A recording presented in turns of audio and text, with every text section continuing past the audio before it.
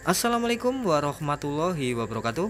Selamat datang kembali di channel Serba Mate Oke teman-teman Kali ini saya ada Xiaomi Redmi 5 Plus ya Yang di sini kondisinya tidak bisa dicas ya. Ini saya coba untuk melakukan pengecasan. Jika kabelnya di goyang ini ada tanda petir tapi hilang lagi ya. Ya Insya Allah ini yang bermasalah pada konektor chargernya. Oke teman-teman di video kali ini saya akan berbagi dalam penggantian atau trik saya dalam penggantian konektor cas pada Xiaomi Redmi 5 Plus ya teman-teman. Oke di sini saya lepas dulu untuk konektor yang lama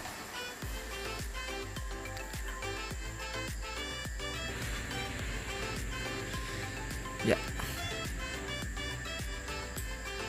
untuk Xiaomi Redmi 5 Plus usahakan menggunakan konektor khusus ya untuk penggantinya karena kalau menggunakan konektor persamaan pasti tidak awet ya. ya di sini saya menggunakan solder biasa untuk pemasangan konektor penggantinya. Ya. Di sini saya sedot dulu timah sisa-sisa timah yang ada di lubang kaki-kaki konektor ya teman-teman. Menggunakan penyedot timah ya. Seperti ini. Jadi nanti konektornya tinggal di presisikan saja ya. Dipasang dan disolder ya. saya tidak menggunakan blower ya karena dulu saat mengganti konektor di Redmi 5 Plus menggunakan blower itu konektor penggantinya meleleh ya. Karena ya mungkin karena saya yang masih serba amatir ya. Kurang ilmunya ya. Ya ini untuk konektor penggantinya paskan dulu di botnya ya. Di sini kaki konektor pengganti kaki depannya kurang presisi ya. Jadi saya sempitkan dulu menggunakan tang seperti ini sedikit saja biar konektor penggantinya bisa masuk atau presisi di bootnya ya teman-teman. Ya, seperti ini presisikan. Ya sekarang lanjut untuk solder pada 5 pin konektornya ya teman-teman. Ya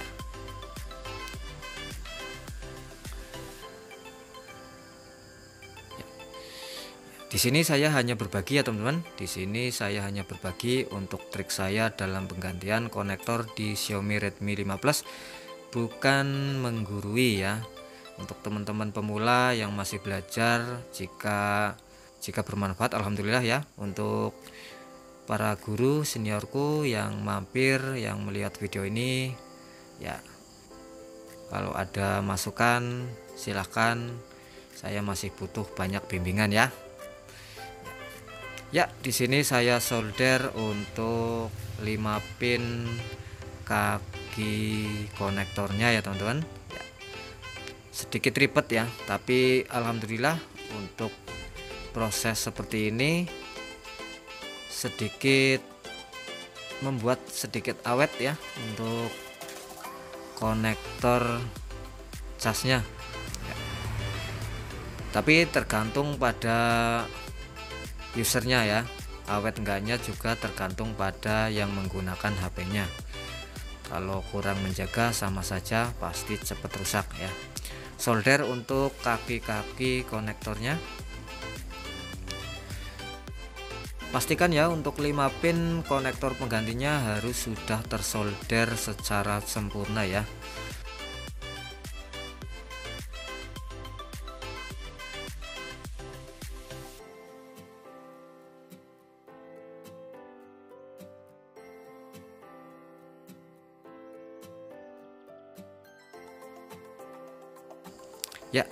seperti ini ya teman-teman. Ya Alhamdulillah. Ya, hasilnya seperti ini. Ya.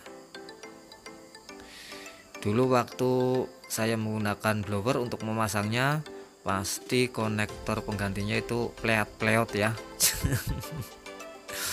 Jadi meleleh ya.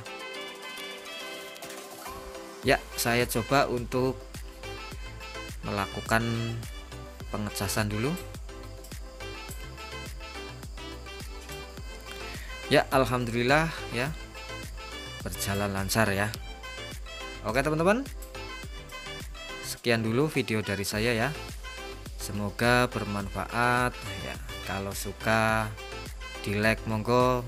Enggak juga enggak apa-apa ya. Kalau tidak suka dislike saja. Wassalamualaikum warahmatullahi wabarakatuh